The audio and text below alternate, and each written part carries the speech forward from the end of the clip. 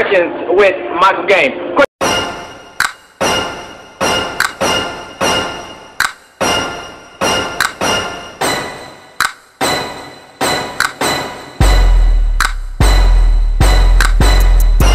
Number one, Cameron, do you always dress like a member of the band Nickelback?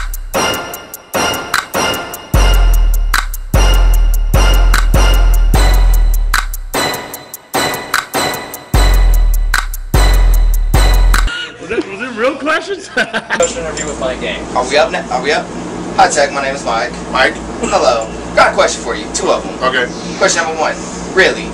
Who do you cash now? uh, damn, I caught a lot of people, man. I gotta catch the people in Japan.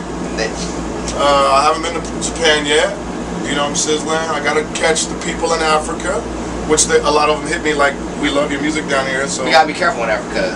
You might catch them there too. it's all good. I wanna catch everybody. No, no, no. Bigger. You, you, The pandemic. oh, okay, oh, okay. Pandemic. Oh, okay, okay, okay. Cause, uh, and question number two. Kobe or LeBron? Muggs is on this tour, so I'm gonna say Kobe. OG Muggs is on this tour. That's that's my homeboy, I'm gonna say Kobe. And Kobe Bryant's the greatest basketball player of all time. Yeah, yeah. That's been two questions with Mike Game and this Tech N9ne fellow. It's all Jesus. right there, Mike. From Fred Phelps to the Kinsey Six.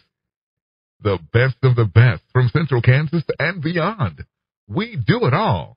We are KJAG Radio and the Jiggy Jaguar Radio Show. Log on to jiggyjaguar.com and kjagradio.com for more.